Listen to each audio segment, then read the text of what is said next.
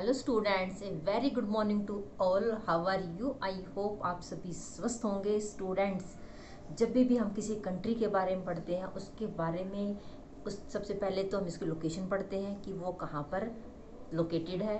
दूसरा, उसके neighbours country या उसके आसपास में वाटर बॉडीज़ क्या है। और हमारा जो चैप्टर है ग्रीनलैंड हमने इसके बारे में, इसकी लोकेशन हम पढ़ चुके हैं कि ये है हमारा आर्टिक जोन के अंदर है और ये जो नॉर्थ अमेरिका है, उसके नॉर्थ ईस्ट डायरेक्शन में है और एक ये लार्जेस्ट सबसे लार्जेस्ट आइलैंड है। इसकी कैपिटल है न्यूक और इसके नेबर कंट्री है आइलैंड आइसलैंड ठीक है बच्चों?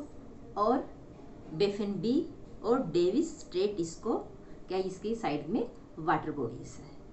स्टूडेंट अब हम आते हैं इसके इंटरनल पार्ट में, यानी कि जो इसकी क्लाइमेट क्या है, ठीक है? इसकी क्लाइमेट क्या है, वहाँ की वाइल्ड लाइफ क्या है, और वहाँ के लोगों मतलब वहाँ की लाइफ कैसी है लोगों की, ठीक है बच्चों? और वहाँ पर क्या क्या ग्रो किया जाता है क्या क्या उगाया जाता। है अच्छा बच्चों, वहाँ का लोकेशन सॉरी वहाँ का क्लाइमेट है, वहाँ का इतनी ज़्यादा ठंड है, इतनी इतनी ज़्यादा कि वहाँ का जो समर का टेम्परेचर है, वो माइनस फाइव डिग्री सेल्सियस है और विंटर का उनका है minus twenty three degree Celsius तो बच्चों, वहाँ देखो कि कितना वन हंड्रेड यानी कि पंद्रह सौ मीटर के तो वहाँ पर क्या है? जो स्नो है, बर्फ़ के पहाड़ है। ठीक है? तो वहाँ के लोग अपने आप को कैसे, उसके अकॉर्डिंग ढालते होंगे। क्यों? क्योंकि वहाँ पर जो एनिमल्स हैं, वो वहाँ के उनके लिए बहुत हेल्पफुल है। यानी कि जो वहाँ के एनिमल्स हैं कुकीज़ रेंडियर सील तो वो उससे क्या होता है कि उससे ये होता है कि वो वहाँ के जो लोग हैं, वो उनकी जो ड्रेस है, वो उनकी उसमें भी काम आते हैं और जो कि उसके वहाँ की जो ट्रांसपोर्ट मोड ऑफ़ ट्रांसपोर्ट यानी कि आने जाने के जो यूज़ किया जाता है, वो भी उन एनिमल्स की स्किन से बनाई जाती है। ठीक है बच्चों?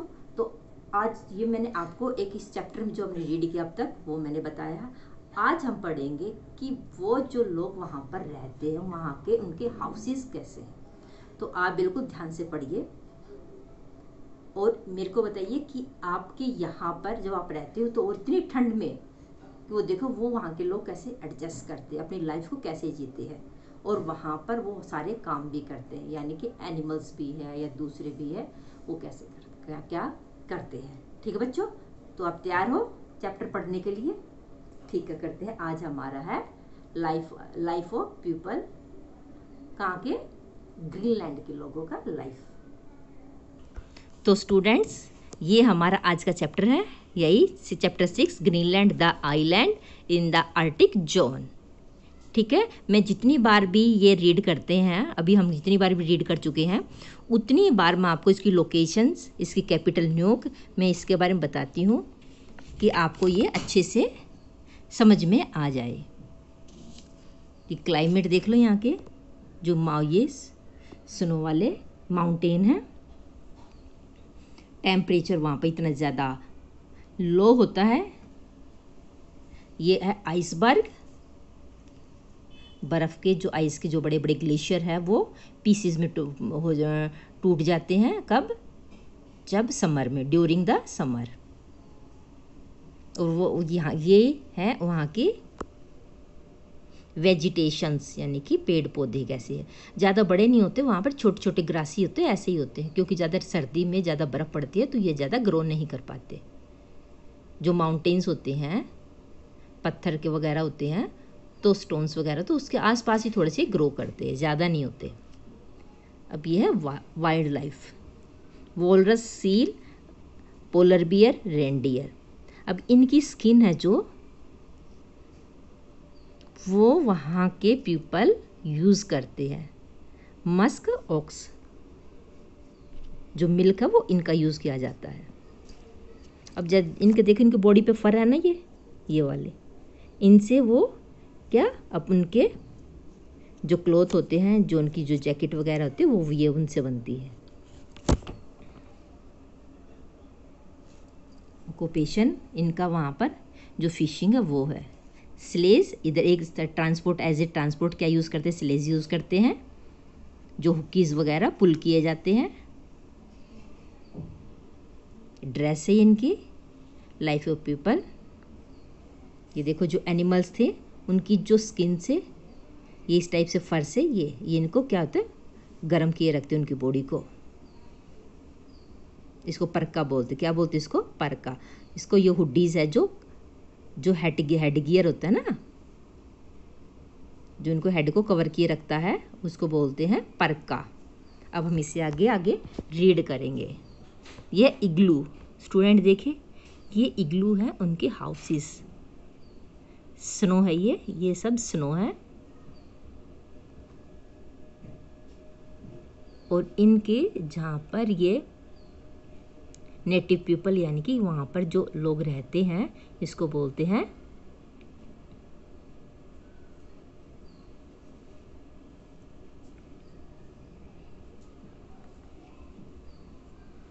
पर का वो ड्रेस जो बता दिया दे वियर डबल ट्राउज़र वो यानी कि डबल ट्राउज़र डालते हैं ग्लोव्स हाथों में जो डालते हैं ना, गर्म करने के लिए, वो डालते हैं, यानी कि ग्लोव्स वगैरह डालते दस्ताने वगैरह डालते हैं ना उसको।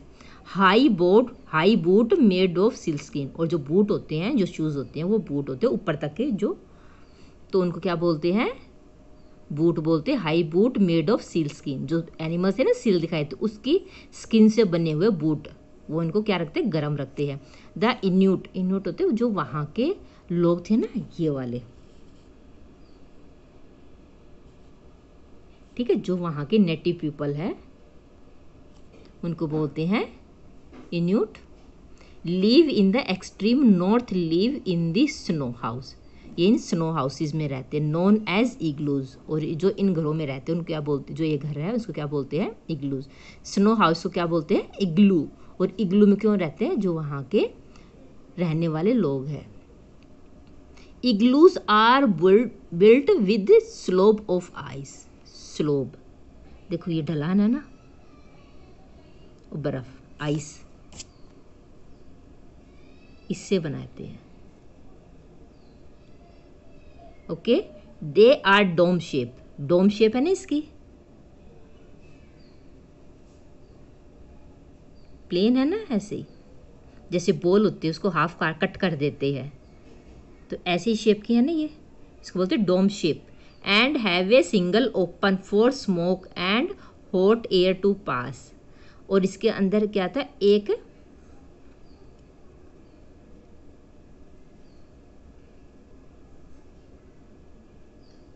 और सिर्फ़ इसका एक सिंगल क्या होता है ओपन होता है। हिस्सा खुला होता है। लाइक like दिस एक हिस्सा ही खुला होता है। जिससे कि यहाँ पे एयरास के, गर्म हवास के हॉट एयर टू पास जिससे गर्म हवा पास हो जाए एंड ओपन फॉर स्मोक और धुआँ वगैरह निकल जाए।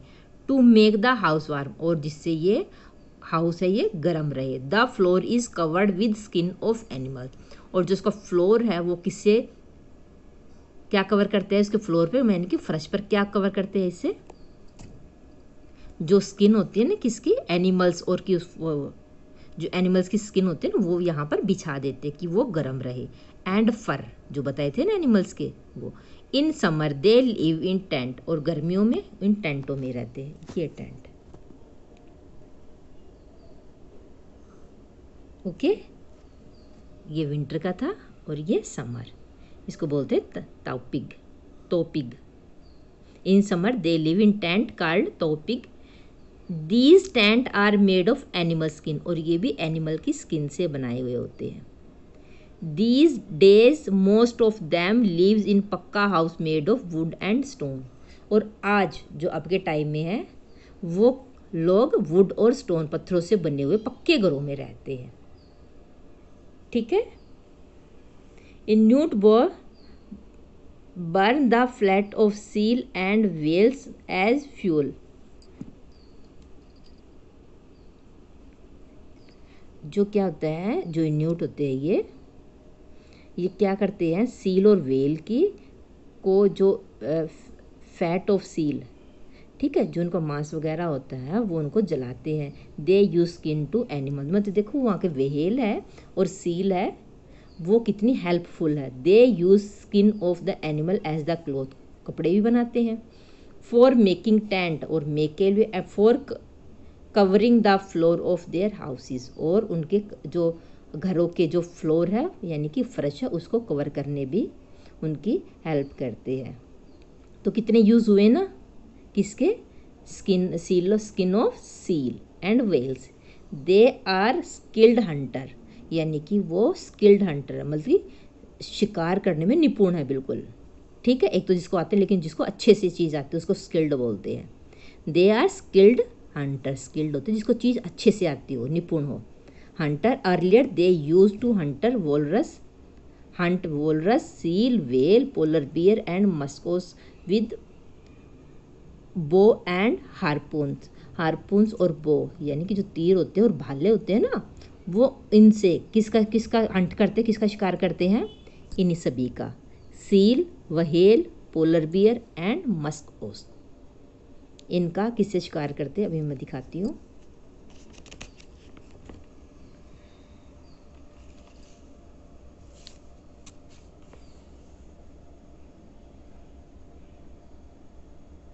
अब तो गन यूज़ कर रहे हैं, बट पहले ये यूज़ करते थे। आगे से शार्प होते थे ये। और ये जो भी इनका हंटिंग का है, ये भी इंटरेस्टिंग स्टोरी बच्चों, मैं आप साथ साथ आपको बताऊँगी।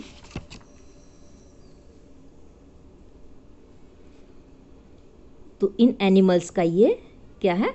हंट करते हैं। किससे? बोज धनुष और हारपून, यानी कि जो जो भाले वगैरह होते हैं ना, जो आगे से शार्प होते हैं। These day use rifle for hunting और आज के मतलब अभी वे क्या यूज़ करते हैं? दीज डे ये तो पहले करते थे ना यूज़, अब क्या करते राइफल यानी बंदूक वगैरह से किसका शिकार करते हैं।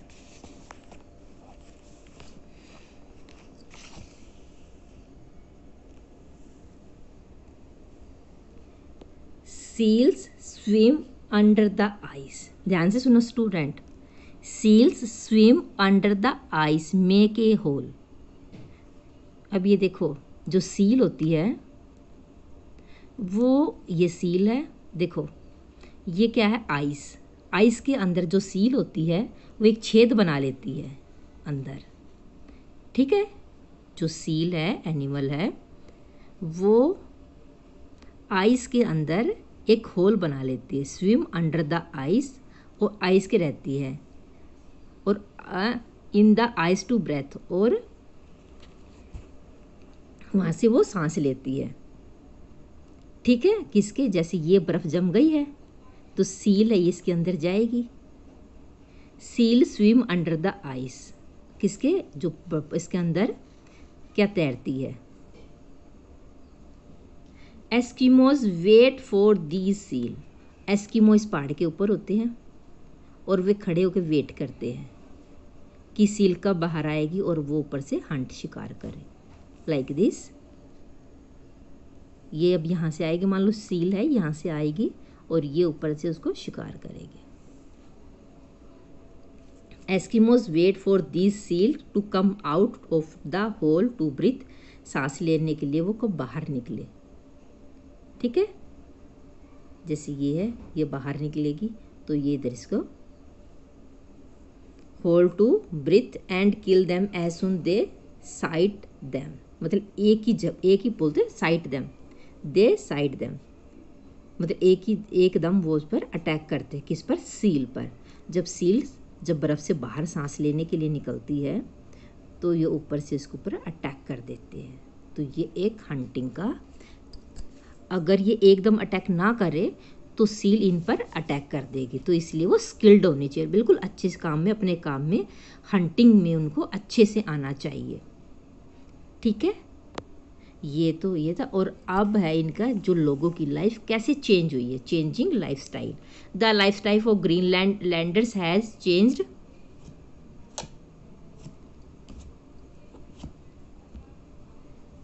changed signified over the year सालों साल कुछ ना कुछ वो वहाँ पर चेंज होने लग रहा है। पहले तो ऐसा ही साइज़ दिखाई था अब ये देखो ऐसे है। ग्रीनलैंड की कैपिटल है जो न्यू वहाँ पर ऐसे घर बने हुए अब तो। पहले वाले में की तरह बहुत सारे चेंज है ना? These days they use rifle for hunting rifle use करते हैं मोटर बोट और मोटर बोट फॉर फिशिंग और मोटर बोट यूज़ करते पहले क्या यूज़ करते थे? कायक। कायक यूज़ करते ना?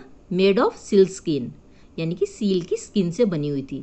दे लिव इन टाउन और वे शहर में रहते हैं। हैविंग शॉप और वहाँ पर शॉप भी है हॉस्पिटल भी है स्कूल भी और क्लब भी है। यानी कि ये सारी फैसिलिटी है वहाँ पर they live in permanent house अब वो परमानेंट हाउस में रहते हैं। यानी कि पहले इधर उधर से ले जाने के पहले टेंटों में रहते थे ना।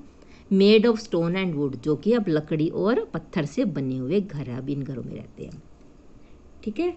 दे वर्क इन माइंस वो कहाँ पर? माइन होते, खान होते, जैसे कोयले खान या ऑयल फ़ील्ड और इंडस्ट्रीज़ जो और दूसरे कान जो कारखाने वगैरह उद्योग तो वहाँ पर वे काम करते कौन? वहाँ के रहने वाले। Education development of industries has a led of modern modernization यानी कि अब इससे वो मॉडर्न हो गए यानी कि सारी सुविधाएँ अब वहाँ पर है। South western coast of Greenland is the warmest and the most populate populated area और ग्रीनलैंड का जो साउथ वेस्टर्न जो कोस्ट का है, वो सबसे गर्म है। Nuuk earlier known as the Godthab is the biggest town और जो न्यूक है, वो इसको, किसको क्या बोलते हैं? गोडथाप भी। मैंने बताया था न्यूक का दूसरा क्या नाम है? गोडथाप और जो सबसे बड़ा टाउन है, शहर है। It is the modern town with the population about eleven thousand people यानी कि वहाँ पर इलेवन थाउज़ेंड ग्यारह हज़ार के करीब वहाँ पर लोग हैं, लोगों की आबादी। It has air link with the Denmark और एयर लिंक, यानी कि ये किसके साथ लिंक है? जो डेनमार्क कंट्री है, डेनमार्क है, उसके साथ एयर से, यानी कि वहाँ पर रोड नहीं बने हैं। किससे किससे लिंक है? एयर से by air air airplane and the North America technology had change the life of Greenland और जो नॉर्थ अमेरिका इन इन वहाँ पर, वहाँ से द टेक्नोलॉजी और जो टेक्नोलॉजी है, जो आज की जो तकनीकी है, इसने जो लोग के लोगों का जीवन को बदल दिया है। तो देखो बच्चों, वहाँ की लोग कैसे थे, क्या है, कैसे सुधार हुआ है और वहाँ के लोग कैसे अपना जीवन जीते हैं। तो स्टूडेंट, ग्रीनलैंड के बारे में हमने रीड किया अभी। आप इसको दोबारा फिर अच्छे से रीड करें, ठीक है? कि कैसे वहाँ के लोग जो नेटिव पीपल थे, उन्होंने कैसे वहाँ पर रहते हुए और आज की जो टेक्नोलॉजी है, वहाँ पर कितना चेंज हुआ है जो पहले हंटिंग करते थे किससे? बो से करते थे। बो एंड बो से करते थे, हाथ पाउन से करते थे बट अब किससे करते हैं? राइफल से करते हैं। तो बहुत सारा चेंज आया है। ठीक है बच्चों? आप इस चैप्टर को बहुत ध्यान से दोबारा फिर पढ़िए, कई बार पढ़िए। आगे के लिए हम करेंगे क्वेश्चन आंसर जिससे आप जब चैप्टर रीड कर लेते हैं अच्छे से तो क्वेश्चन आंसर करने में ईजी होता है। आज के लिए इतना ही। अपना ध्यान रखिए। Thank you and have a nice day